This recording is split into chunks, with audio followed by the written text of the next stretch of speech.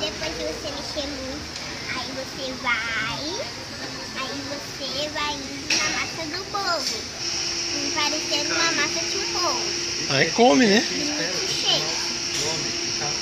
Experimenta ver se tá bom isso aí. Aí, ó, aí deixa eu experimentar. Hum, a receita da Érica. É uma delícia. Só um minutinho só. É, Quero ver, beleza? é, rápido. É só ir no cozinheiro.